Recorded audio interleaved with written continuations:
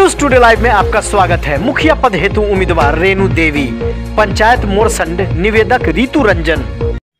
आप अपना परिचय दीजिए। नमस्कार मैं रेणु देवी मुरसद पंचायत के मुखिया प्रत्याशी हूँ। परिचय देंगे। नमस्कार मैं रितु रंजन कुमार भोला सिंह। मैं मुरसम पंचायत स्तर से आता हूँ।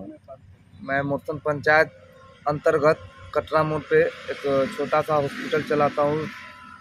और मेरी माँ रेणु देवी जो कि मुरसम पंचायत क्षेत्र संख्या सोलह से मुखिया पद की प्रत्याशी है। अब ये बताइए कि आप जो है समाज में क्या कुछ समाज सेवा करते हैं? समाज सेवा जो है बहुत प्रकार से होती है। एक तो अंतर्भाव से होती है दूसरा दिखावे के लिए होता है तीसरा गरीब का दिल से मदद किया जाता है। तो हम गरीब के साथ जुड़े हैं। गरीब ने उनको मद अपने और आकर्षित किया है। हॉस्पिटल के माध्यम से हो, रोड पे राह चलते, राहगीर के लिए हो, या फिर किसी भी वर्ग के सुख दुख में हम सभी के साथ चले हैं, जिस कारण से लोगों की चाह है कि हम समाज सेवा अच्छा ये बताइए कि आप जो है आपकी मम्मी मुखिया प्रत्याशी है और आप निवेदक हैं। तो आप अपने पंचायत के बारे में भली भांति क्या कुछ समस्या है जानते हैं? हम अपने पंचायत की छोटी से छोटी और बड़ी से बड़ी समस्या को जानते हैं। यहाँ सबसे बड़ी बेरोजगारी की समस्या है किसान मजदूर की समस्या है। यहाँ पे न किसी को मनरेगा के तहत कोई कार्य मिलता है न उज्ज्वला योजना का लाभ मिला है न यहाँ जो क्या कहते हैं किसी को अ, किसान को जो है शौचालय का निर्माण में कोई फ़ायदा हुआ है? ना किसी को सही से इंदिरा आवास मिला है, ना किसी का नाम पाँच सालों में किसी का नाम राशन कार्ड में नया जुड़ा है। यहाँ पे ना किसी के लिए समुचित इलाज की व्यवस्था है, ना शिक्षा की व्यवस्था है। बेरोजगारी है। मतलब कि पंचायत में चारों तरफ़ जो है देखा जाए तो सिर्फ़ समस्याओं का जंजाल है। समस्याओं का जंजाल है। हमारा भारत जो है कहने के लिए उन्नीस में आज़ाद हुआ। आज़ादी का क्या मतलब है?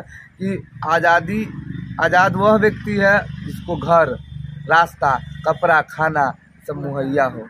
रोटी कपड़ा और मकान तीन चीज़ जो है। तो एक नारा हो गया है सबको ही बोलते हैं हम सबसे अलग हैं थोड़ा अपने भाषा में टूटी फूटी भाषा में। अब समाज से जुड़ गए हैं तो आदत हो गया है गरीबों की तरफ़ बोलने का। अब दूसरी बात है कि यहाँ पे बहुत ऐसे जहाँ पे एक एक सौ घर है वहाँ जाने के लिए रास्ता नहीं है। इस समय आप जाइएगा और इस समय भर भर ठेवना घुटना भर पानी हेल के जाना होगा। अब ये बताइए कि आपने समस्या तो गिना दिया सब। जनता अगर आपको चुनती है तो इतने समस्याओं को जो है समा है कि जनता हमको चुनेगी तो सबसे पहले मेरा सबसे कर्तव्य है सबसे बड़ा धर्म है कि ना जनता का जो दुख हो उसका जो हक हो उसके पास पहुँचना चाहिए। मतलब आप जो है जनता के समस्या का जो भी निदान निकलेगा वो आप करेंगे। समस्या उससे बेहिचक दूर करेंगे। बेहिचक करेंगे।